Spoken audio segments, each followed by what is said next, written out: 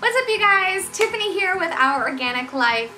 So today is June 1st and what does that signify? That signifies the first official day of hurricane season. Now if you live in an area that is not affected by hurricanes, this video may still be helpful to you because today we are going to be going over five, maybe a little bit more, but five at the minimum Amazon finds that you might want to have on hand in case of a hurricane or an, any kind of emergency or natural disaster. Now I want to let you guys know that um, there is one of these items that is a sponsored item. I would not, however, push any items to you guys that I did not like or feel that was a good item but I did want to let you guys know. So the first item on our list I was actually very happy with um, recently we were reached out to by a company called Sunglife off of Amazon and they asked us to look at and review one of their items. Now, um, they did sponsor this video, I want to let you guys know, but, but, I would not recommend an item if I did not try it out. We've had it for a few weeks now, we've kind of been feeling it out, trying it out, and I wouldn't show it to you guys if I did not feel like it was actually a pretty good purchase. So the first item is the Sun Life. Now, the, it's a mouthful. It's a lot of stuff. This It's a radio, weather radio, FM radio. This is an all-around off, like no power. It's going to take care of you. So first thing that I liked about this, of course, it is an AM, FM, and weather radio, but it is solar powered. So as you see here, there is a solar panel, so you can charge it via uh, sun. But if you're out of power and it's dark out, there's also a hand crank. And so you can actually hand crank it. It doesn't matter which way you hand crank it, you can hand crank it either way. And this light will come on letting you know that it's charging. I thought that was really cool because while you're charging that, on the back here, and it comes with a cord, it is also a USB phone charger. This is a power bank, so you can charge your phone with it. I, I thought that was really, really cool. It also has, I'm not going to shine myself, but it has a reading light, so you can read your book in the dark when you have nothing to do because the power's out. And then it also has a flashlight here. I'm not going to try and shine you guys, but it also has a flashlight here. So this has, it can be powered by AAA batteries or it has a built-in um, Li-ion, I think that's how it's pronounced, Li-ion, uh, battery, and that's what's charged by the solar panel or the crank charge. So it also has, and this is going to be noisy,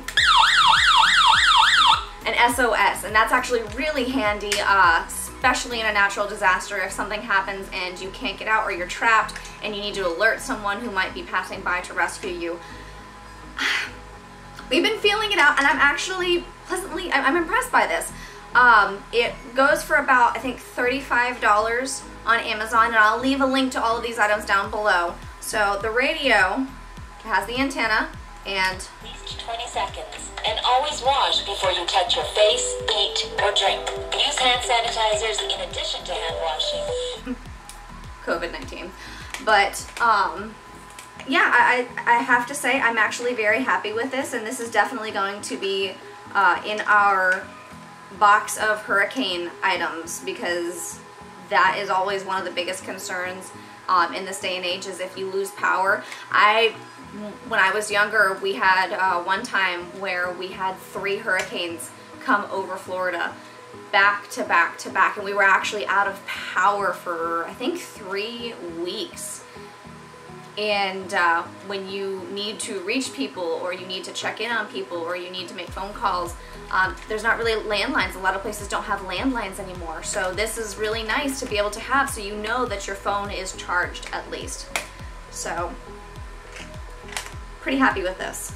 So the next item I thought was really cool and it is definitely one of the first things that you need to have in a natural disaster or a hurricane and that is water drinkable water. So commonly whenever a hurricane is coming and you're expecting to lose power, you fill your tub.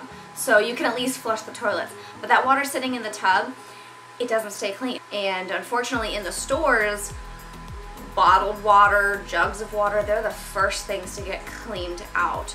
So, I'm gonna show you guys the box because it's kind of funky to show you guys the actual item. So this is called the WaterBOB and it, I really, I've been wanting to get one of these for a while and I was really glad that I got one for this hurricane season.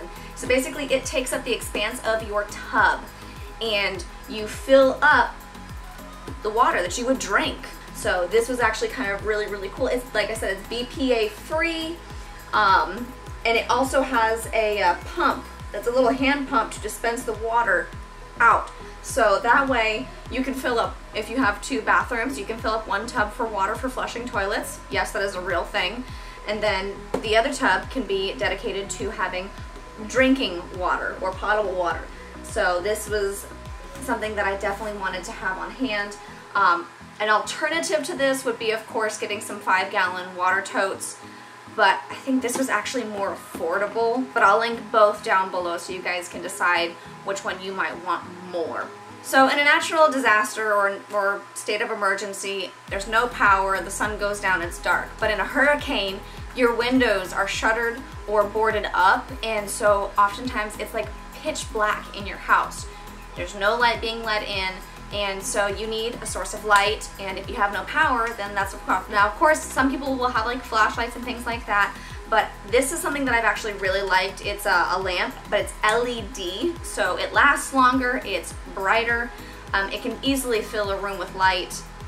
There are some options for solar and I'm to leave a link to, down below for that because that's just that's just really cool to have this this particular one is battery powered and it's lasted a long time. My son uses it in his room all the time as like a night light or like a lamp light to have for reading.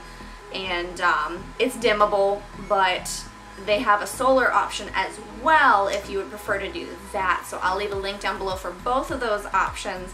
But aside from a flashlight, I actually really like these a lot because it can be hung. It's actually dimmable, like I said, so this is definitely something that I will want to have on hand. I'm planning on getting more of these actually.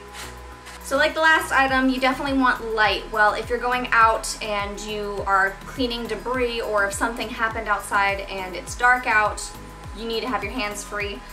My mom actually got us these headlamps and I actually use these a lot, even outside of hurricanes and natural disasters and stuff like that. Um, it actually comes with two different options. You can have like a full cast or a direct line or both and uh, definitely comes in handy if you need to see what you're doing but you need to have your hands free.